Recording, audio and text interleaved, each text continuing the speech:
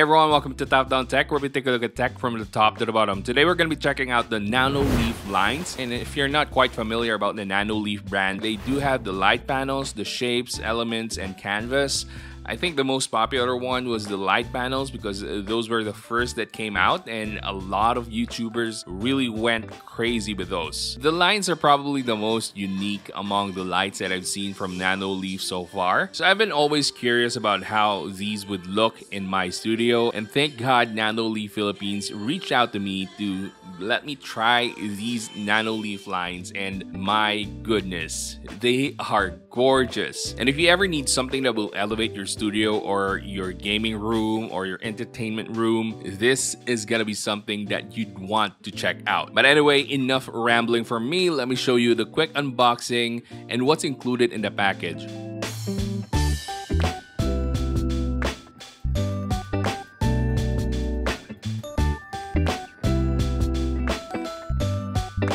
So what I got from Nanoleaf Philippines are the starter kit and the expansion pack. So you have 9 lights with the starter kit and then another three lights with the expansion pack. So everything that you need to set up your Nano Leaf lines are all included in the starter kit as well as the expansion kit. The double-sided adhesives are already connected on your mounting connectors. Now I think a lot of you are going to be daunted by the task of assembling something like this because of course eh, this is not something that you see on a daily basis but I promise you guys, this is something that's super easy to set up. I'm an absolute noob when it comes to assembling things like these. So I just followed the guide from Nano Leaf's YouTube channel and it all worked out. But if you don't want to watch anything, well, you can just simply download the Nano Leaf app and the instructions will be there for you. And also there's an installation manual included in the starter kit, so this is gonna be a very easy thing to set up.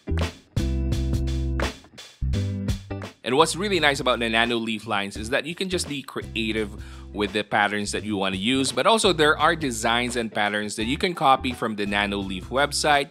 You know, if you just don't want to think too much of what you want to use as a pattern for your wall. Now, if there's one tip that I can give you guys before installing the Nano Leaf lines is that you better prepare some guidelines or some blueprint on your wall before installing it. And this is coming from my own experience because the one that I installed on my wall is definitely not perfectly aligned.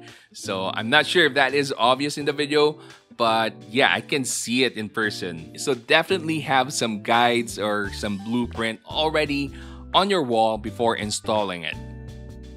Now, if there's one thing that surprised me about the Nano Leaf lines, it's how colorful and how bright it can get. This can definitely light up your entire room and with the level of customizability in terms of the lighting experience, different patterns that you can use and different colors that you can pick whether it be static or whether it be something that jives with the music that you use or you're listening to.